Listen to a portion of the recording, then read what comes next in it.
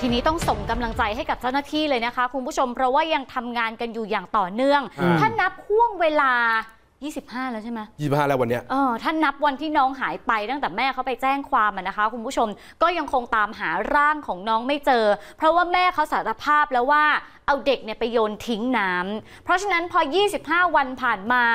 ก็คาดว่าน้องเนี่ยน่าจะเสียชีวิตแล้วนะคะ ทีนี้การค้นหาที่ยังมีอยู่อย่างต่อเนื่อง มีคนไปถ่ายภาพนี้มาได้ค่ะคุณผู้ชม แล้วก็บอกในทำนองที่ว่า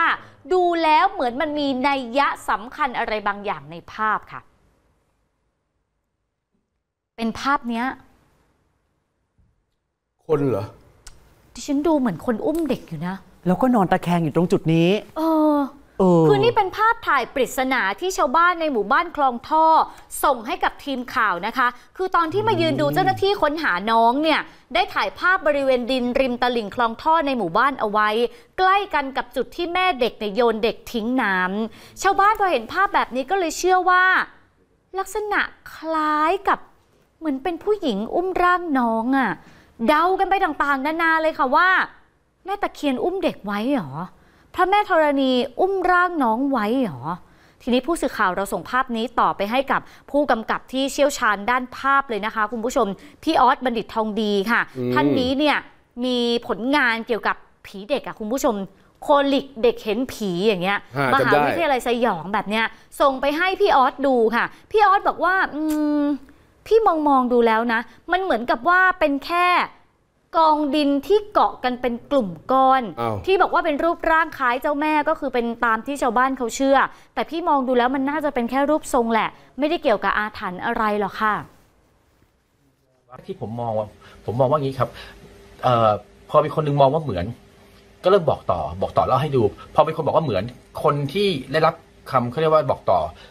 ก็พยายามเพ่ง พอเพ่งมันก็ยิ่งเหมือนพอมันกลายเป็นเป็นกรรมที่แบบว่าเออเหมือนเหมือนการสะกดจิตกันนะครับมันก็เลยทำให้ทุกคนก็เอ้ยเหมือนเหมือนเหมือนแต่ผมเห็นแวบแรกกับผมว่าไม่เหมือนนะครับไม่ได้เหมือนอะไรแต่ว่าพอพอพอขยายดู พอใช้ซูมขึ้นดูเออมันก็มีความคล้าย แต่ผมว่ามันเป็นความคล้ายที่แบบว่า ตัดขึ้นจากความบังเอิญแบบธรรมชาตินะครับเพราะเหมือนเราดูดูเมฆเป็นรูปสัตว์รูปมังกรรูปกระต่าย รูปจานบิน รูปเอ่อใดๆเนี่ยที่เราที่เราเห็นในเมฆคือลักษณะเดียวกันครับมันคือความพี่ออนไม่เชื่ออมองว่าเป็นอะไรเนือนดิน เป็นเนินดินเป็นธรรมดาไม่ไม่น่าจะได้มีเกี่ยวอะไรกันกับอาถรรพ์ค่ะ อืมหืมก็พอดูเสร็จปุ๊บมันก็ดูคล้ายๆอยู่เหมือนกันนะ ผมว่ามองที่ผมบอกว่าเห็นเห็นเป็นรูปทรงคน แต่ผมไม่เห็นเด็กเออเออพอมาขีดเส้นเออเออเห็นไม่ได้ ค่ะ เอออะคุณผู้ชมในกรณีเรื่องของการค้นหาร่างของน้องวัย 8 เดือนในพื้นที่อำเภอบางเลนเนี่ยล่าสุดมูลนิธิวินวินออกมาประกาศขอถอนตัวแล้วนะฮะอ้าวทำไมอะ บอกไม่ช่วยค้นหาต่อแล้ว เพราะที่ผ่านมาเนี่ยพ่อแม่เด็กไม่ได้ให้ข้อมูลอะไรที่เป็นประโยชน์เลย แล้วยอมรับจริง ๆ ว่าทุกวันที่ผ่านไป มีค่าใช้จ่ายตอนนี้หมดเงินที่จะช่วยในการค้นหาแล้วครับ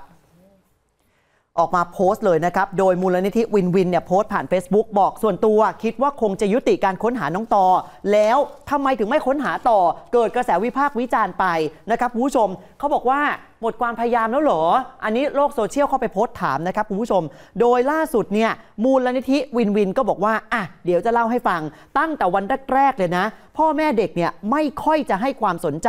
ในการตามหาลูกครับส่วนคำตอบที่ได้ทุกครั้งก็คือชายเสื้อเหลืองพาไป แล้วพูดอย่างเงี้ยซ้ำไปซ้ำมาจนสุดท้าย แม่เด็กมาสารภาพนะครับว่าชายเสื้อเหลืองไม่มีอยู่จริง ทำให้มูลนิธิวินวินเห็นว่าทุกวันเหมือนต้องเริ่มนับหนึ่งใหม่หมดเลย ไม่รู้เลยว่าแล้วตำรวจจะทำงานไปถึงไหน เพราะว่าพอไปถามตำรวจข้อมูลที่ได้มาก็ตอบไม่ได้ครับ เพราะว่าตำรวจบอกว่าทุกอย่างเป็นความลับไปหมดเลยสุดท้าย แม่เด็กมาสารภาพว่าโยนลูกทิ้งน้ำมูลนิธิก็ให้แม่เด็กเนี่ยเขียนรูปจุดที่ทิ้งน้องให้ดูหน่อย เจ้าหน้าที่ก็ต้องเริ่มต้นใหม่อ้าวปูพรมค้นหาชุดใหญ่ สุดท้ายไม่เจออะไร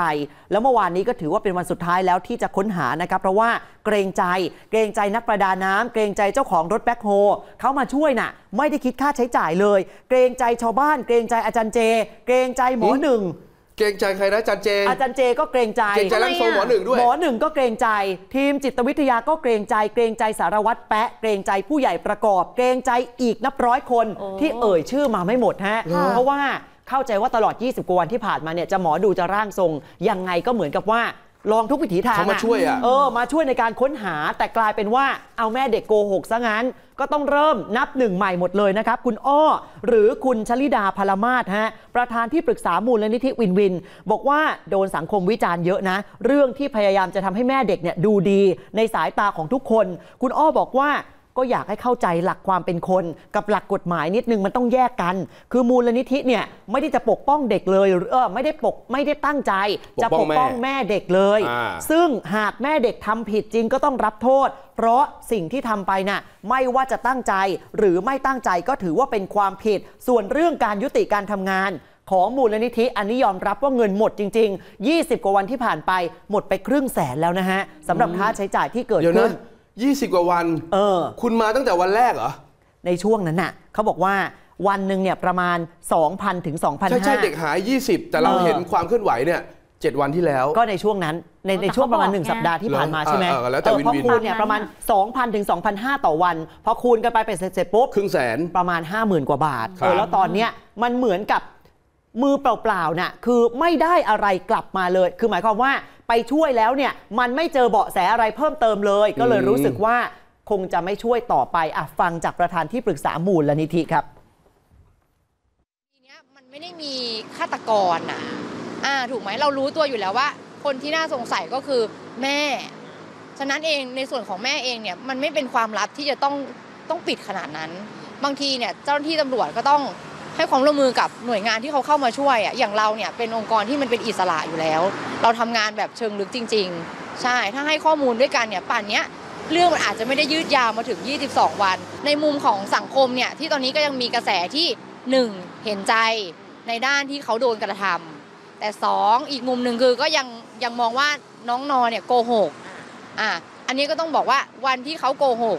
เราต้องการให้เขาสารภาพ แต่วันที่เขาสารภาพ เราก็ว่าเขาโกหก อันนี้ก็เป็นสิทธิของแต่ละคน แต่ว่าเราก็มองอีกมุมหนึ่งว่า เพราะอะไรอะทำไมนางสาวนอมไม่กล้าที่จะสารภาพตั้งแต่วันแรกนี่แหละครับคุณผู้ชมฮะ แต่ว่าในเรื่องมุมมองความเห็นใจที่เกิดขึ้นนะครับอาบางคนก็อาจจะเห็นใจได้ไม่ว่ากัน